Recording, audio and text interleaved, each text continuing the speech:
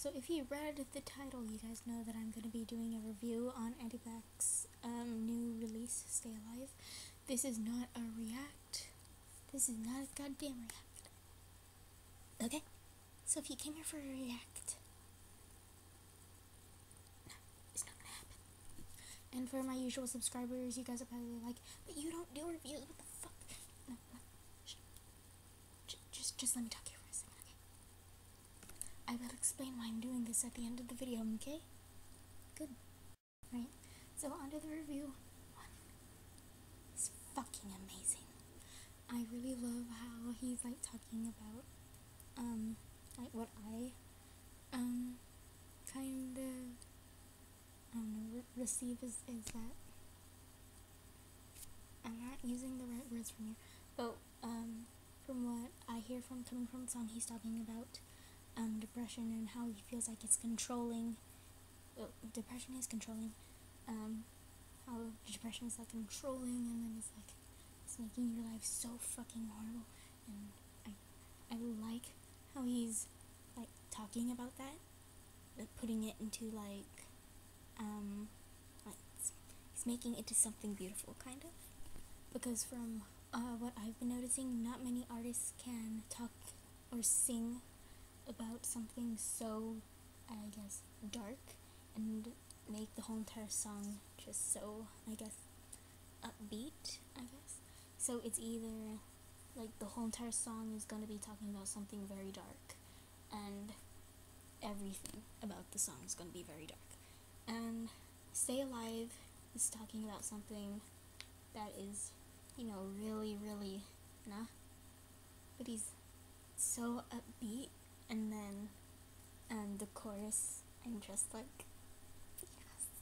Stay Alive is a goddamn diamond. Cause I'm, I personally, I have never come across a song like this. It is just, oh my god, how the fuck did you do this? And really, I, I have no complaints. I have no complaints. That's good. And Matt also did a wonderful job. It was orgasms four days. Six six six out of four twenty. Would listen to a million times and more. Now, why I decided to do this? Really, I have no idea. I just thought of it a couple seconds before turning on the camera. But the f- the first time that I listened to it it was a couple hours after the fight I had with my dad. You know, the one that caused the head bump. Um, and this this is gonna get a bit. It's gonna get a bit down there. Okay, so when I was bashing my head on my dad's car door, I was screaming like this is out in public, guys. This is right outside of our house. So I was screaming, I want to kill myself. I don't want to live anymore. As I'm bashing my head on the car door. So yeah. So a few hours after that, I realized that oh my god, Andy Black released something new.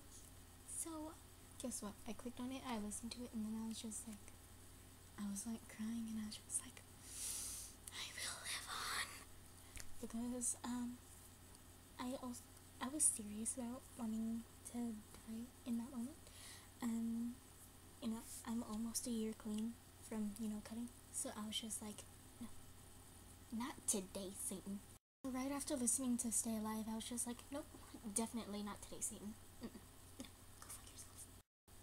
And my mind just blanked. I don't know what else to say anymore. So I'm just gonna upload this. Okay? I'm gonna poke your face. I just booped you. Bye bye.